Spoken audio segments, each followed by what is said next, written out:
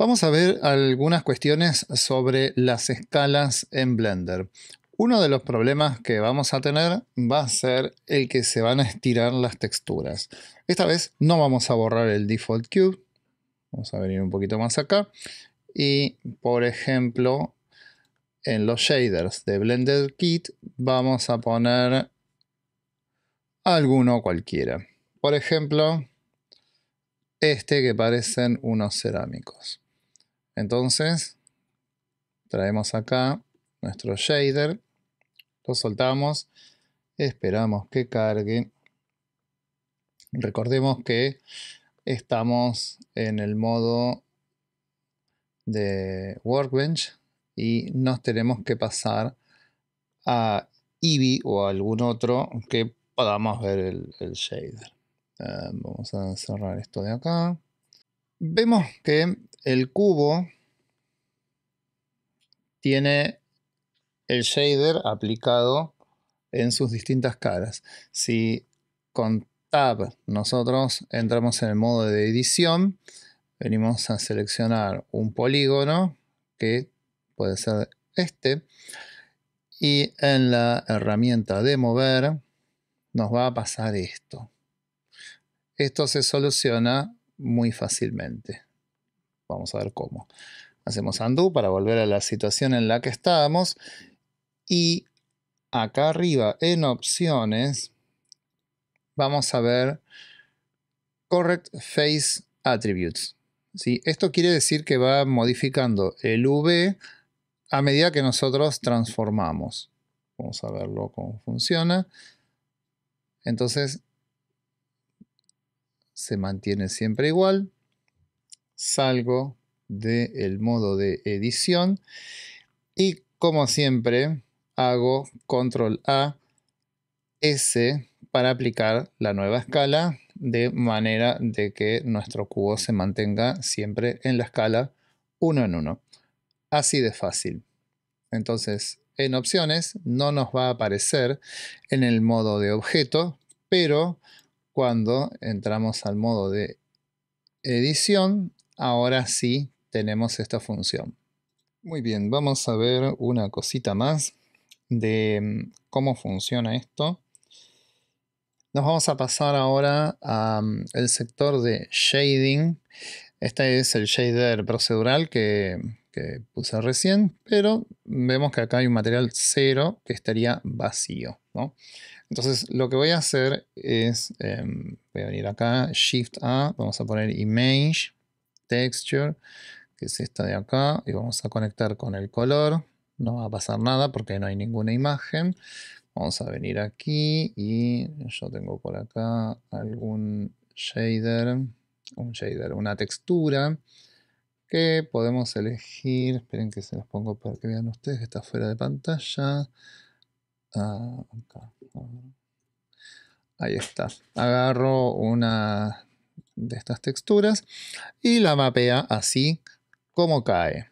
Entonces si nosotros queremos eh, ver ahora qué va a pasar con este shader, bueno, tenemos que seleccionar acá y tenemos Node Wrangler activado. Para eso hacemos control coma en addons, escribimos node y nos fijamos de que Node Wrangler esté activado. Entonces, una vez que está activado, en el caso de que no esté activado, normalmente en esta versión de Blender, la 421 viene por defecto, las anteriores no, pero simplemente escriben Node acá y lo activan. Node Wrangler está activado y si nosotros tocamos Control T, ya nos va a hacer automáticamente las coordenadas y el mapeo. O sea, va a estar diciéndole a Blender cómo colocar esa textura que ya está colocada. Entonces simplemente nos lo va a mostrar. Supongamos que la hacemos manualmente por alguna razón que nos olvidamos, por ejemplo, entonces vamos a poner acá map de mapping y vamos a poner el mapeo acá, el vector acá, vamos a ver que desaparece. Vamos a poner acá eh, texture coordinates.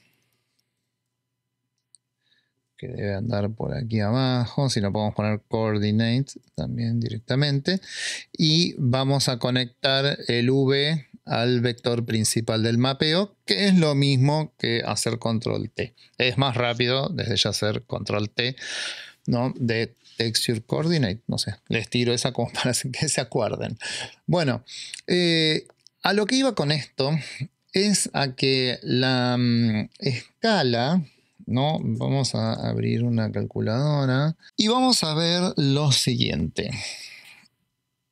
Acá donde dice scale, ¿no? Bueno, ahí me aparece este cartelito, vamos a ponerlo así, ustedes lo vean bien. Acá donde dice scale, um, tenemos tres valores que están en 1. Recordemos que ya le pegamos a nuestro objeto las modificaciones de escala que le habíamos hecho. O sea, ahora para Blender, esto es 1, o sea, escala 1 es ese tamaño por 1 esto es 1, su tamaño por 1 y este, el otro para allá también, ¿no? Todas las tres dimensiones, los tamaños están multiplicados por 1. Eso es importante, ¿no? Que lo hicimos, como habíamos dicho, con control em, A, ¿no? Y después aplicamos el scale. Ahora, em, cuando nosotros multiplicamos un número por 0, va a pasar esto. Por ejemplo, si yo hago 2 por 0,2,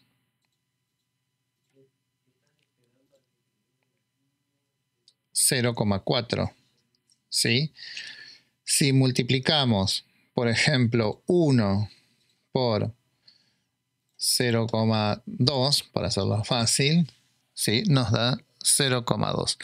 Entonces, entendemos que esto es un factor.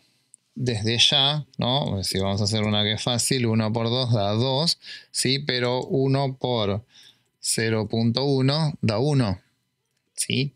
Bueno, es un factor. ¿Eso qué quiere decir? Que el número más chico, como vimos recién, me va a dar una escala más grande.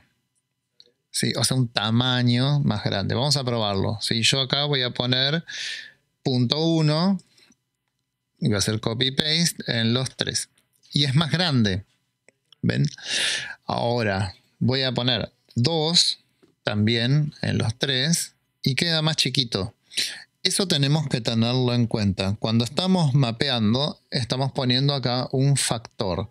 Entonces, el número, que el factor es más grande, pero no quiere decir que la textura se vea más grande. Lo que estamos diciéndole es que al tamaño de la textura, que es 1, lo vamos a multiplicar por un factor. 2, 3, 0,1, el que les convenga. Recuerden eso, ¿sí? Si yo pongo punto 3 acá, se va a ver grande. Si pongo 3, se va a ver chiquita.